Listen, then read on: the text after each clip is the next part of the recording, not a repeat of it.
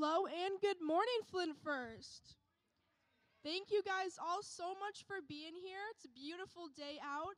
If you guys would like to stand up, we are going to worship our Lord this morning.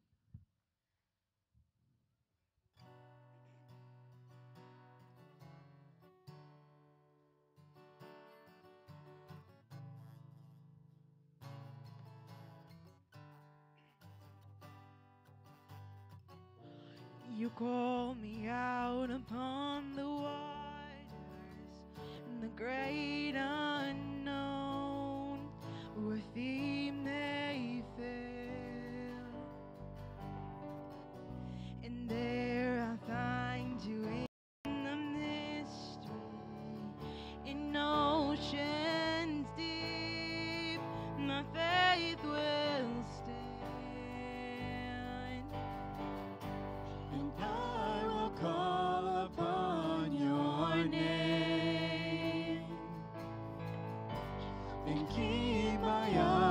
above the waves. When oceans rise, my soul will rest in your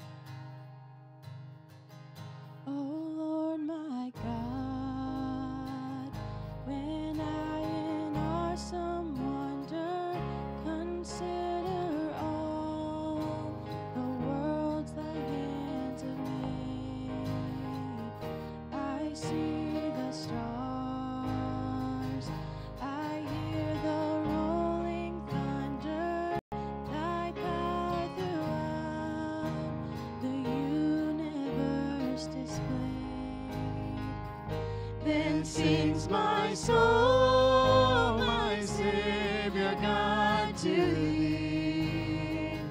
How great thou art, how great thou art. Then sings my soul,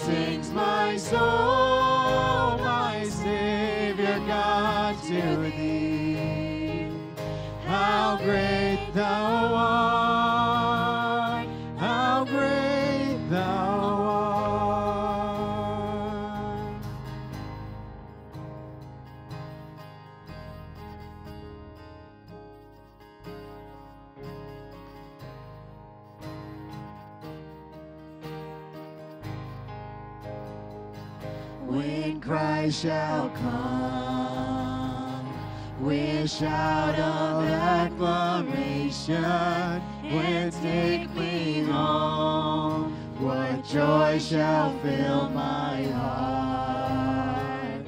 Then I shall bow in humble adoration and there proclaim, My God, how great thou art! Then sings my soul, my God, to.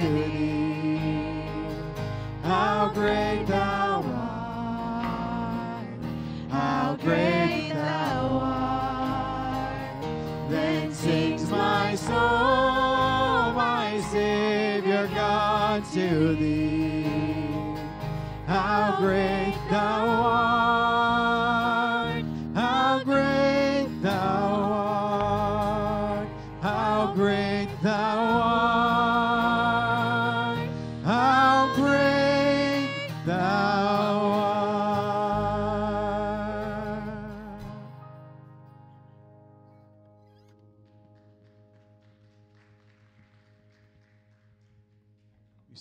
serve a great God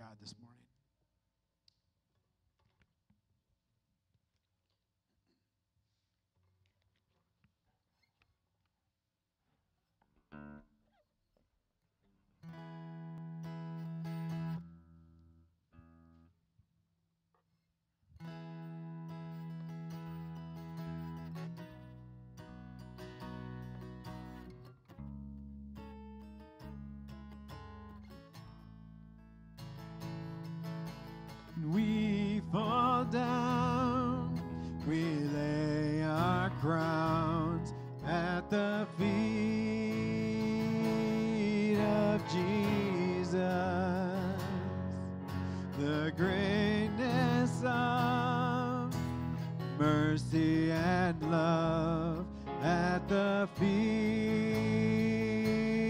of Jesus. And we cry, Holy,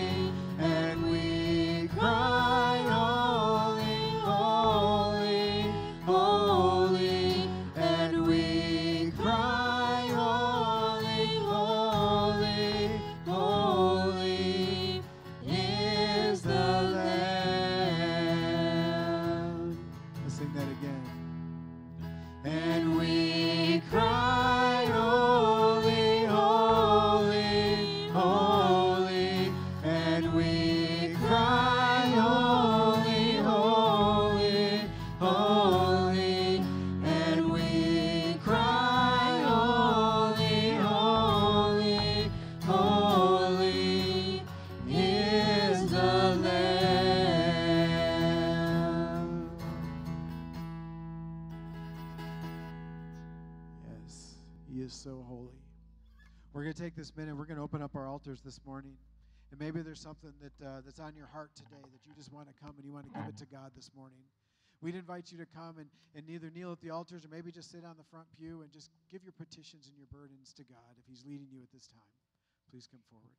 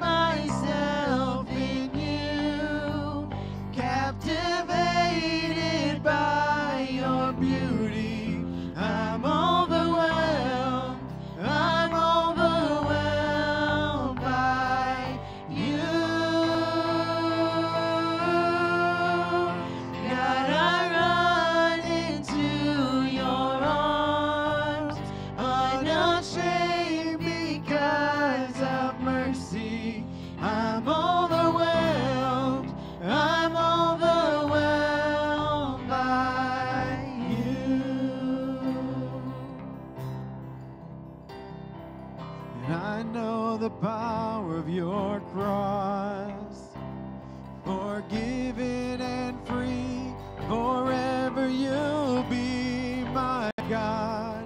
And all that you've done is so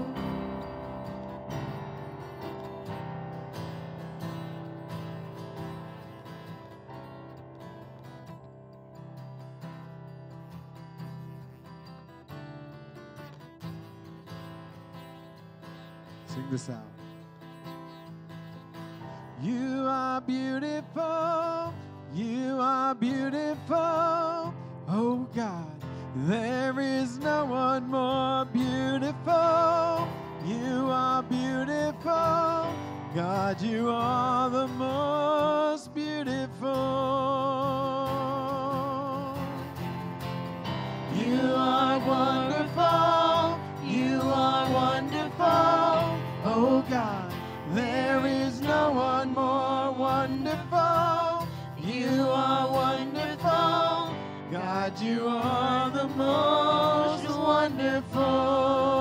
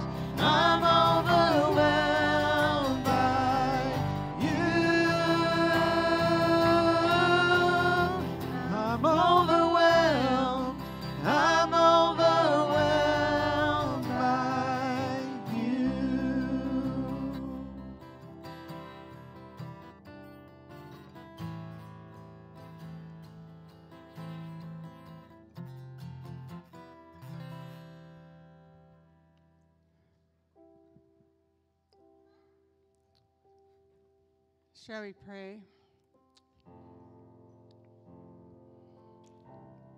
Father, we love you this morning.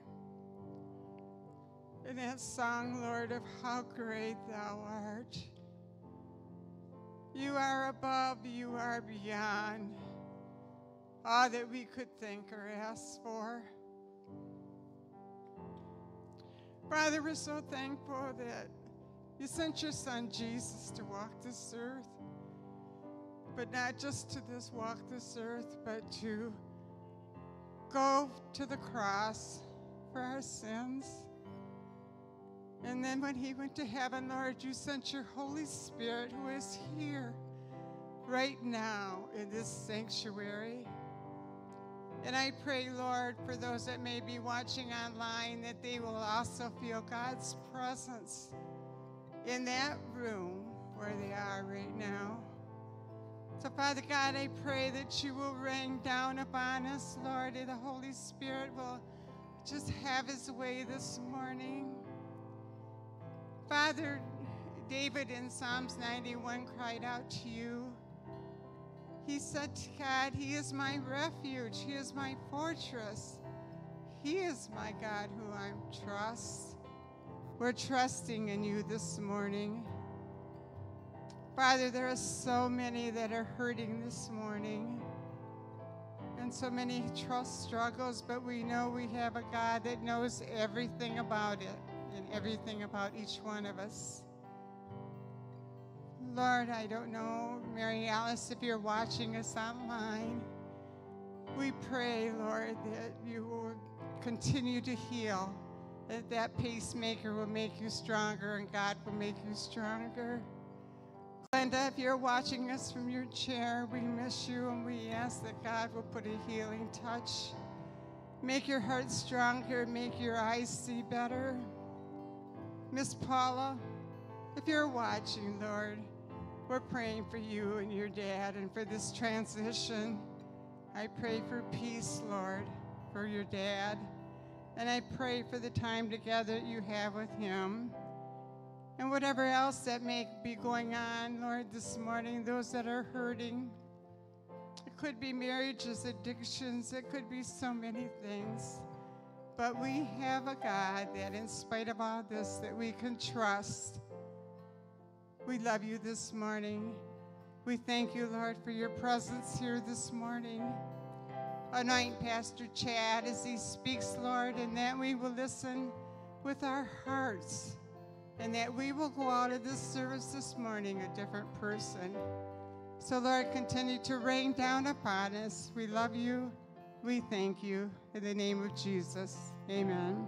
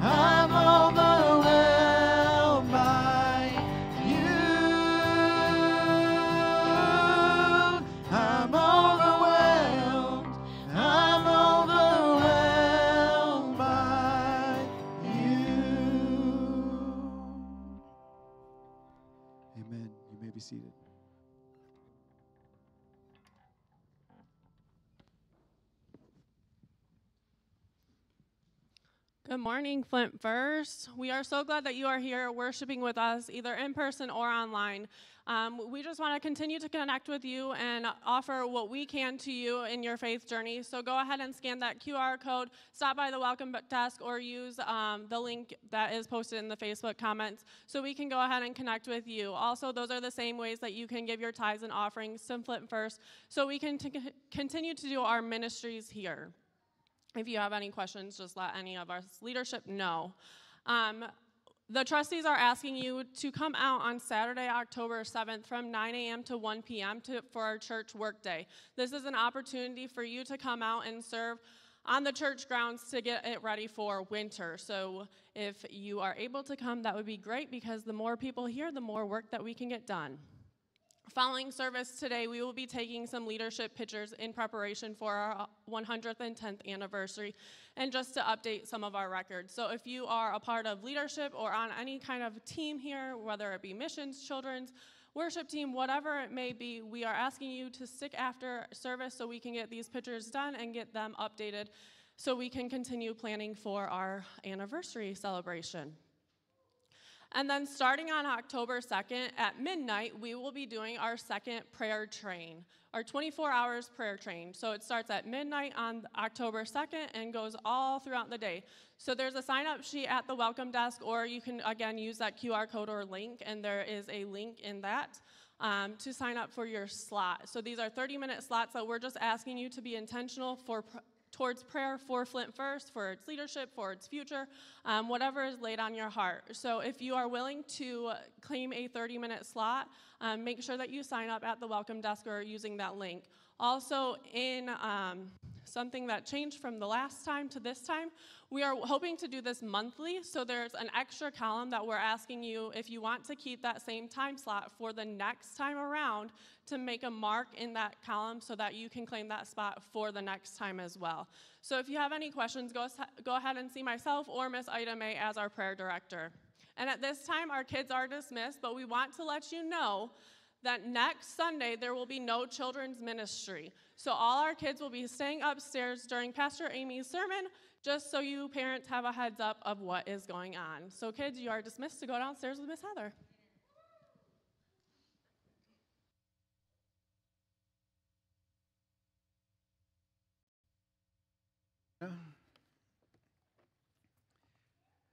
Well, good morning. Uh, again, welcome to Flint First. I really am excited about this 24 hour prayer chain. I think it's a great opportunity for us to be intentional, to be in prayer about the future of the church and where God would have us to go.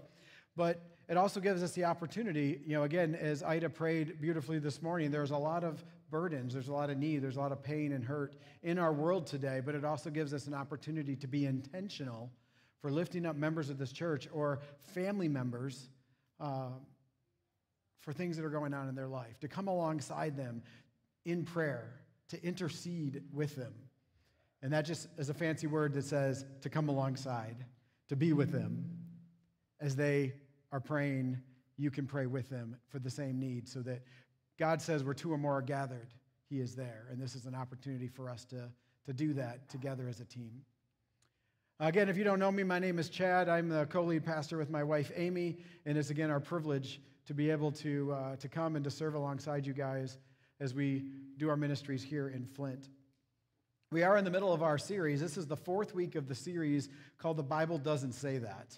Uh, over the various weeks, we've been working on clearing up some misunderstandings and some phrases that we hear in our culture all the time.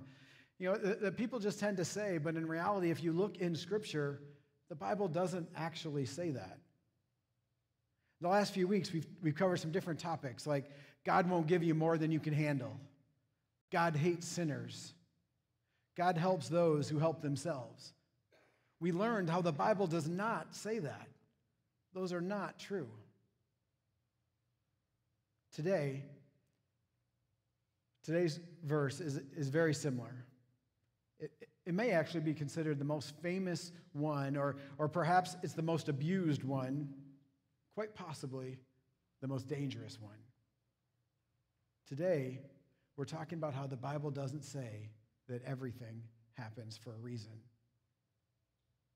Does not say that God causes everything to happen. Now, in reality, society is split on this one. You'll find arguments on both sides of the issue. You'll find those that believe this is indeed true and those who adamantly claim that it's false. So let's start with a few examples of each. The first one comes from a blog site called Got Questions. So let's look at this together. So it says there are several known factors that help us answer this question the law of cause and effect, the law of grace, the doctrine of the providence of God. These factors demonstrate that everything does happen for a reason, not just by happenstance or random chance. Let's look at another one. Eventually, all things fall into place. Until then, laugh at the confusion, live for the moment, and know everything happens for a reason. Let's go to the next one. We have a few of them here. This is from the American theologian Marilyn Monroe. All right. I, I believe that everything happens for a reason. People change so that you can learn to let go. Things go wrong so that you can appreciate them when they're right. You believe lies so that eventually you learn to trust no one but yourself. And sometimes good things fall apart so better things can fall together. And the last one I trust that everything happens for a reason, even if we're not wise enough to see it. Today, we have a, a, scripture from the Old Testament and we have a scripture from the New Testament. Now, these scriptures are sometimes used by these people to defend that God has everything planned out. We're all just players in his great drama. Many who say yes look to these verses, and even stories like Joseph in Genesis chapter 50. Genesis chapter 50, verse 20 says, You intended harm, to harm me, excuse me, but God intended it for good. He brought me to this position so that I could save the lives of many people. Now, if we continue reading out the rest of Genesis, we'll, we'll, we'll understand that the end of, it shares the end of the story of Joseph's life. And, and maybe you don't know the story of Joseph. Joseph was the father, or oh, excuse me, was the son of uh, Jacob, and Jacob loved him very much, and his brothers were very jealous. And so the brothers eventually took him and sold him into slavery. They first of all they put him in a pit to store him away until some buyer came along, and then they sold him into slavery. Ultimately, though, he went to slavery. He ended up going to jail because of a, a series of events and ended up giving uh, the ability to answer a dream for, for Pharaoh. He was able to, to share and interpret a dream because God gave him the gift and the ability to interpret the dream. Pharaoh was so impressed by this that he ultimately became second in command for all of Egypt, second only to the Pharaoh. And just to be a uh, spoil breaker, so you, you know, please go ahead and read Genesis. But the spoil breaker is that Joseph actually saved Egypt from a famine that was a seven year long famine. And because of his interpretation of the dream, they were able to prepare. And he not only saved Egypt, but he was able to save his brothers, the same brothers that sold him into slavery, and their neighbors. Now, when you read all this, you can see where it'd be easy to conclude that Joseph was indeed trapped in that hole and sold to the Egyptians so that he could prevent them and their neighbors from going hungry. You could see that. There's a strong case to be made that this innocent man was being sold into slavery was all a part of God's plan. But I don't think it was. But we'll, we'll get into that. So now let's look at the New Testament reading. Turn with me to Romans chapter 8, verse 28. We know that God causes everything to work together for the good of those who love God and are called according to their purpose for it them, to his purpose for them. So again, this kind of sounds like that saying, everything happens for a reason. So we can totally see where this confusion comes from. But the truth is, this version, this translation, falls short of the Greek. But we'll get to that in a second. So, again, this sounds like our verse today, and so many well meaning people have literally hurt other people. They've devastated other people by using this phrase, everything happens for a reason, when they really meant to help them. So, let's look at those who say that's not what this means. Everything does not happen for a reason, it's not caused by God. Freelance writer Nicholas Claremont wrote in another blog post this statement Everything happens for a reason is my very least thing for someone to say. It's a bad philosophy, it's bad theology, it's bad thinking, and it's bad advice. It manages to combine the maximum of ignorance with the maximum of arrogance. Ouch. Let's go to the next one. While God certainly gives our lives meaning, the idea that everything we suffer all the horrible experiences we've ever endured have a purpose and a meaning is actual harmful to our Christian walk. So, which group is right? They both sound very passionate, don't they? They seem like they both could be true. But which one is right? All right, let's take a vote. If you believe it's right, let's. No, I'm just kidding. All right, we're not going to do that. All right. Uh, so, the reality is that the big C, the global church, they don't agree with this issue either. There are certain camps that have thought that said the church, they say that everything is called theological determinism. That's a very fanciful way of saying, yes, God is completely sovereign, but there is no free will. Everything happens for a reason, and God's that reason. This means that we can attribute the most recent hurricane that we saw down in the south, or the earthquake that we saw in Morocco, as an act of God, or worse yet, the judgment of God on the people or the group of mankind in general. Now, as well meaning people, I think we can see the danger in this thinking. And then there's our line of thinking, our branch of the theological tree, if you will. As Arminians, our understanding that God is indeed sovereign. But we balance that with the free will and the choice that He has given each of us. We believe that God knows everything that will happen, but that knowledge does not mean that God caused it to happen. He simply operates based on his knowledge, but mankind is still given the ability to choose their choices. So this means no, God is not the cause behind everything. Even though God still knows what's going to happen, he didn't cause it to happen. So, again, if we argue who's right on this one, you could almost say literally both are right. A little bit. Because from a literal standpoint, again, just looking at a literal standpoint, everything does happen for a reason.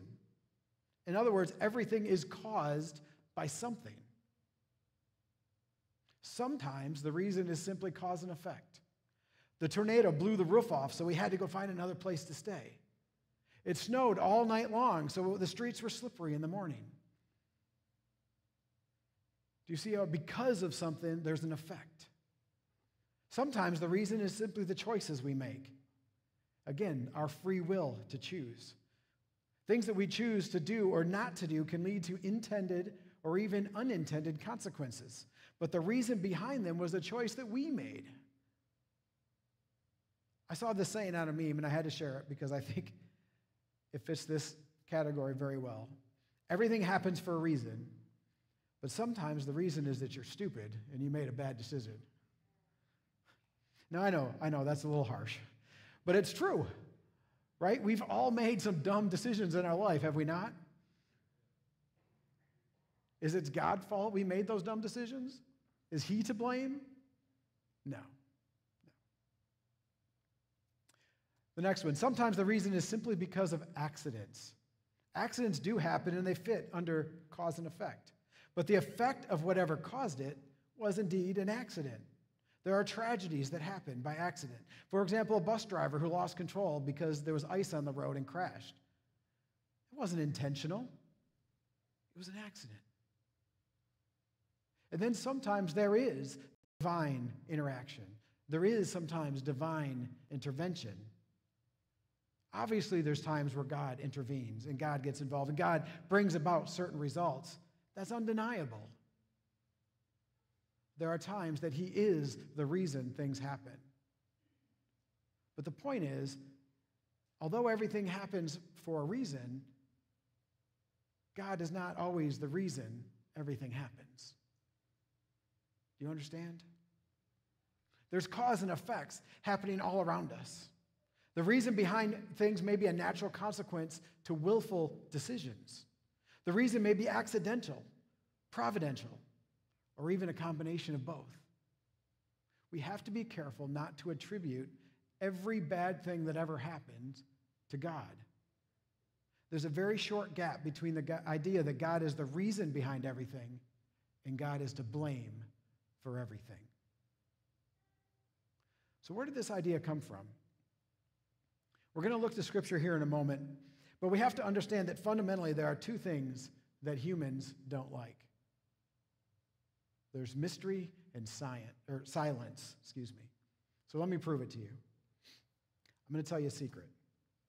Okay, everybody ready? You listening?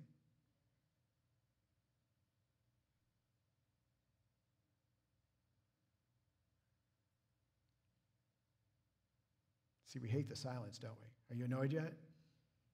The silence bugs us. We have to fill in the gap of that silence. We really don't like silence. To us, it's awkward, it's uncomfortable. When we're faced with a situation where there's no logical explanation, it's human nature to try to solve the mystery, to shatter the silence by saying something, anything. We can't handle the mystery of not knowing why something happened. We also can't handle the silence of not knowing what to say. So when we run into a mystery in life, a tragedy that we can't explain, we struggle in the silence, in the waiting. We resort to Christian platitudes like this one everything happens for a reason. The problem is, it's not totally in Scripture. So, again, why do people think it's in Scripture? As we said, with all of these, it's close to Scripture, not quite there. And I think this has led to the confusion. It's a misinterpretation or a filling in the gaps. Let's go back to this culprit verse Romans chapter 8. And we know that God causes everything to work together for the good of those who love God and are called according to their purpose for them.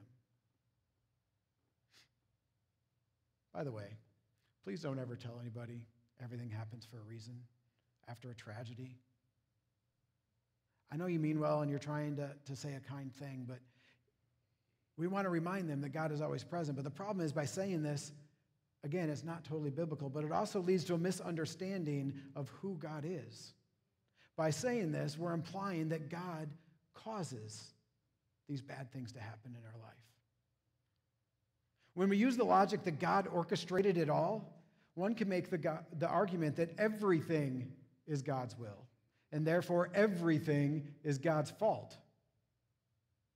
And to be honest, some theologians actually do believe this. But let's take it to its logical conclusion. If you follow that line of thinking, God causes typhoons, earthquakes, hurricanes. God causes every job loss, every sickness, every disease.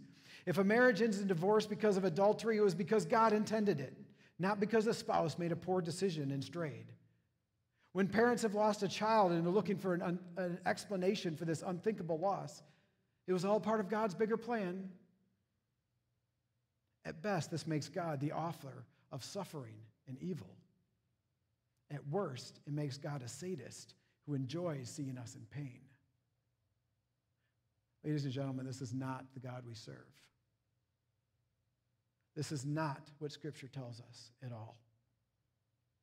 From the beginning of Scripture in Genesis, we read that God made the universe and everything in it. And He placed Adam and Eve in the garden and He gave them dominion over it.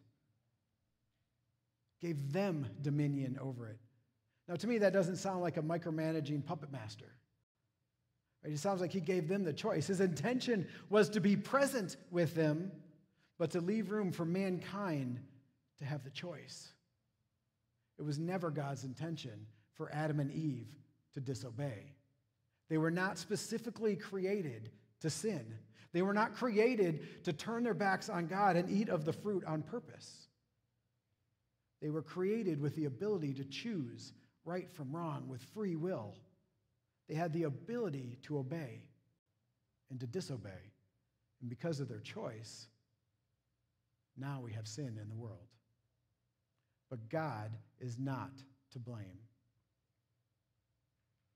Let's jump into the rest of our passage here and back up to Romans 20, chapter 8, verses 22. And I think the scripture is pretty clear that bad things in life will happen, not because God is orchestrating them, but because this world and its people are marred by sin.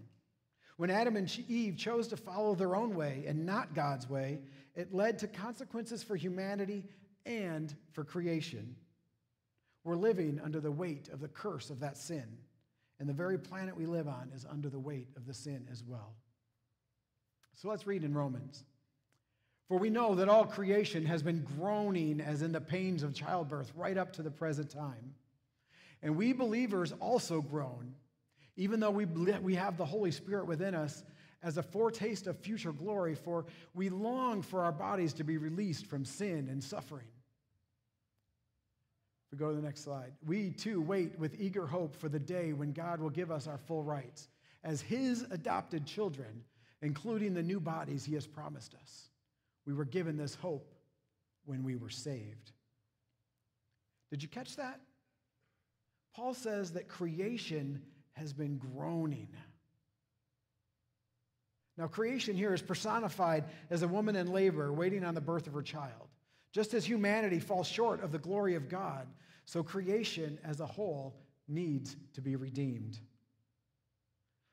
All the way back from Genesis 3, when the ground was cursed for man's sake, to Revelation 22, when the curse is removed by Christ, we read of a word, world infected and imprinted by sin. Not only that, but Paul says that mankind is groaning as well. Those of us who have been saved by Christ know that even though we're saved, everything was not immediately made whole. Sin is still at work in this world. We know that we are adopted children of God, and we also understand that we haven't fully realized what that means to be a child of God. There are so many things we don't understand. But we know that we have not claimed our full rights as his kids. We know that one day God is going to give us new bodies. We know that God is going to make things right. He's going to make things whole. We also know that things are not right yet. But this is where our hope comes from. Let's continue reading in Romans chapter 8. And the Holy Spirit helps us in our weakness. For example, we don't know what God wants us to pray for, but the Holy Spirit prays for us with groanings that cannot be expressed in words. And the Father who knows our hearts knows what the Spirit is saying, for the Spirit pleads for us believers in harmony with God's will. Do you get that? The Holy Spirit is interceding for us. Remember what I said at the beginning of the message? The interceding is coming alongside us and praying with us. He's our advocate, He's our counselor. He intercedes for us to God when we pray. He hears the greatest hurts of our hearts and He brings them before God on our behalf. Think about this. If God is causing everything to happen, why would God's Holy Spirit be interceding for us for things that God wants to actually happen? Why would the Holy Spirit need to pray for us when the things that are happening are what God wants to happen? If that was God's intention. That would mean that God was sending the Holy Spirit to save us from Him. Right? Clearly, that's not what He's saying. What He is saying is that God is fighting for us. That's the context of this verse. Let's continue reading again our, our culprit verse today. We know that God causes everything to work together for the good of those who love God and are called according to his purpose for them. Now, I mentioned earlier that this falls short of the Greek, and let me show you the same verse in the NIV translation. It says, And we know that in all things, God works for the good of those who love him and have been called according to his purpose. The difference is in those tiny two little letters, but it's a Grand Canyon worth of a difference. We know that in all things. If you study Bible translations, you'll know that the NIV is a little bit more accurate translation in the original Greek than the NLT. And this verse shows us that no matter what happens, good or bad, explainable or unexplainable, God is at work. He's working in the lives of those who believe, those who love Him. God doesn't cause everything to happen, but no matter what happens, God is at work. He's shaping the most tragic situations for good in the lives of the believers who love Him, who have put their faith in Him to guide their lives. Now, let me give you a real life example, and I did ask for permission to share this from the family, but Deanna Clan, she passed away a little over a year ago at the age of 39 from cancer. She left behind a husband, three little girls. Now, did God cause Deanna to die with cancer and rob these girls of precious years with their mother? Do you hear how ridiculous that sounds? Or did God work through the tragedy of Deanna's death to help her husband to raise these girls? Do you hear the difference? It's profound. The wrong translation says, God did this to you. But the right translation is that no matter what, God is with you. Now, Paul, the author of this, this chapter or this book, uh, was no stranger to conflict. In fact, he wrote this letter to the, to the Romans while he was waiting for a trial in front of the emperor. In these circumstances that Paul, it was in these circumstances that Paul penned this verse. He's saying that regardless of my circumstances, even, you know, he in himself is in this situation. And even regardless of that, God is at work to bring about his perfect will in the end. I think the misconception of this verse leads to two issues.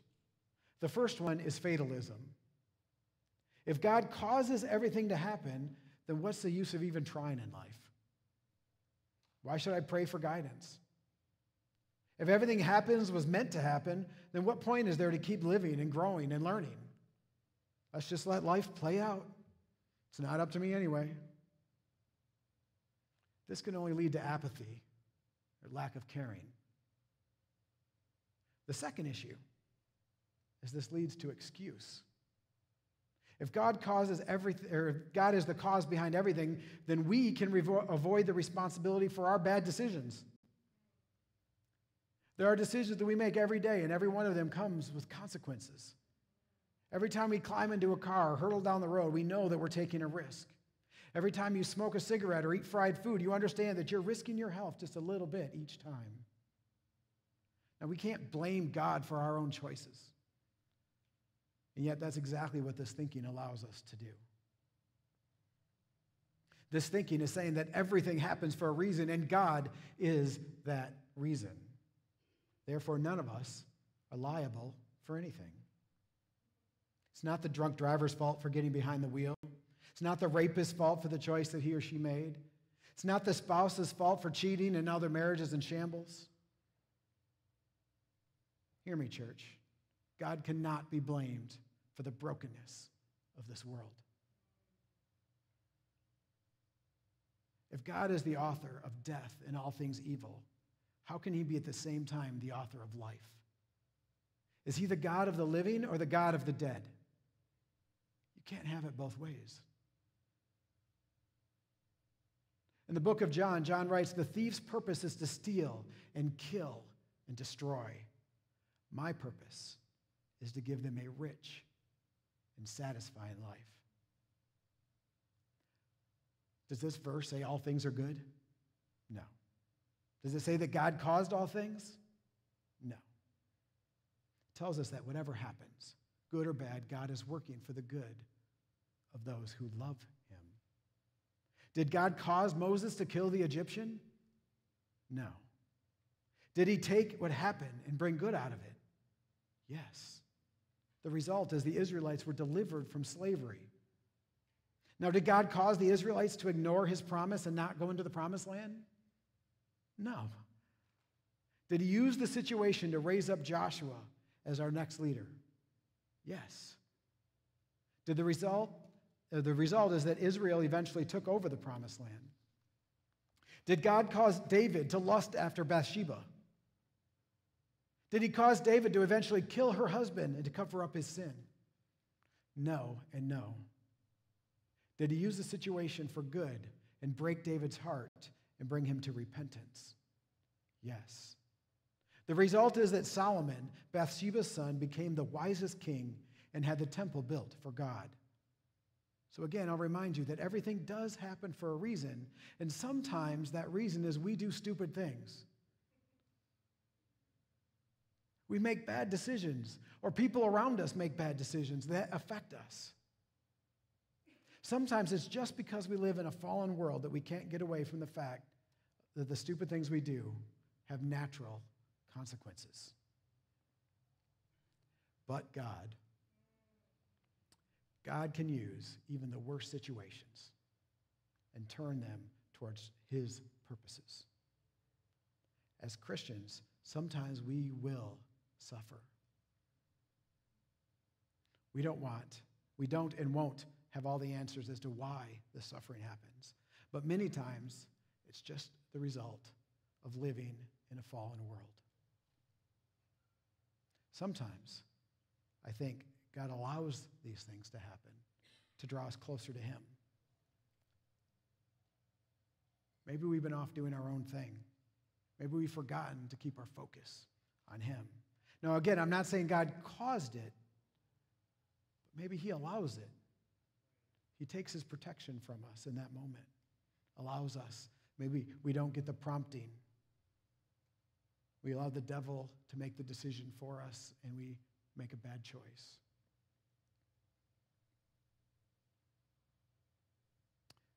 Before we close, I want to give you another thought. So we understand that God doesn't make everything happen. But I'm here to tell you that He can weave His purpose into everything that does happen. God doesn't cause innocent people to go to jail or the people we love to die of cancer. God doesn't cause senseless tragedies to occur, but when they do happen, He brings beauty from the ashes. He takes everything that happens and He works in it. He works through it to bring about His purpose. Maybe that purpose is to teach us something. Maybe there's something that we need to grow and to learn. Maybe God wants us to lean on Him more. Maybe He wants us to learn that we can do all things leaning on His strength and not our own. This entire series, we've been unpacking these lies and focusing on things attributed to the Bible. But honestly, the Bible just doesn't say that.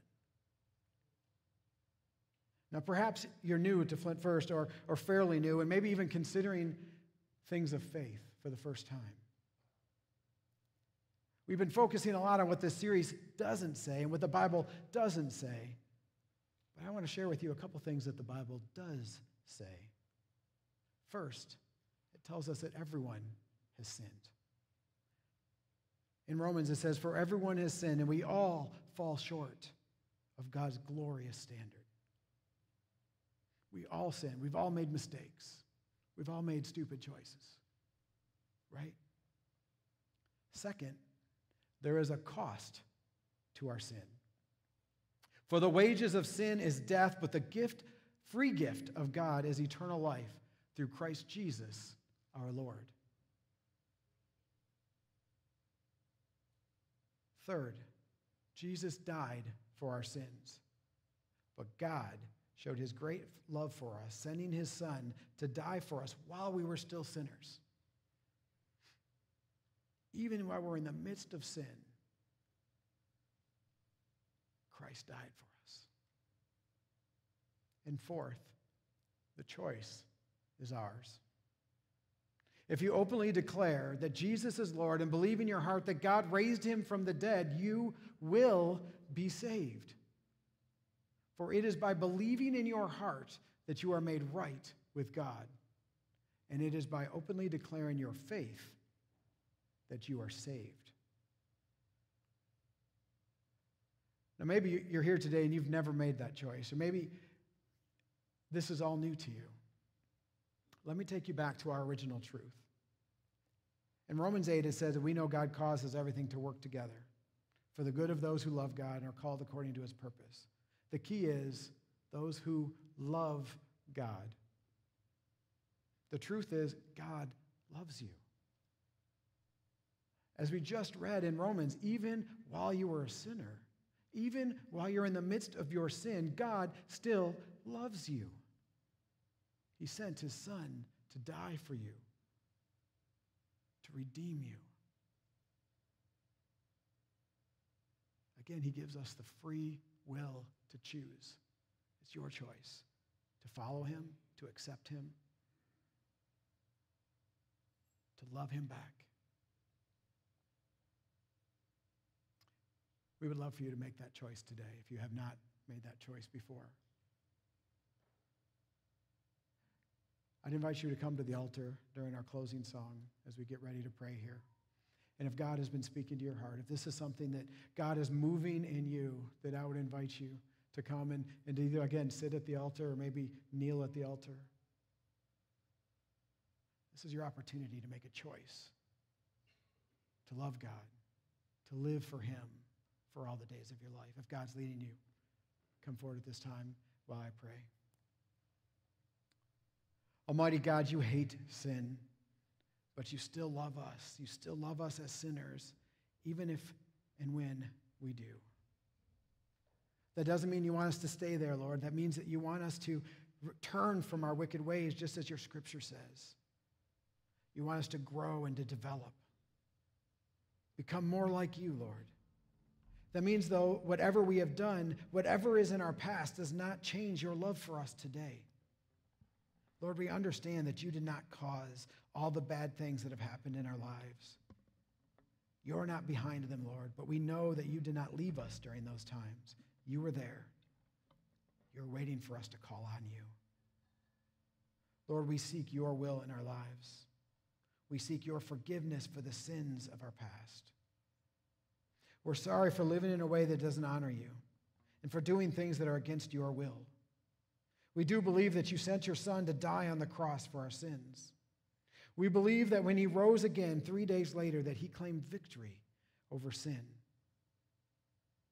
Thank you, Lord, for loving us even when we were unlovable. Thank you for thinking of us when you sent your son to the cross, for opening the door for us to accept and receive your grace and your mercy. We love you, Lord. Please send the Holy Spirit into our lives. It's in Jesus' name we pray. Amen.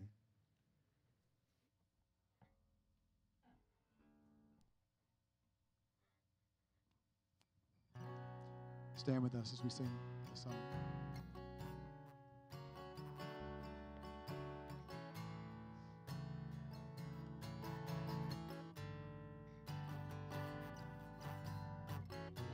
You call me out upon the waters,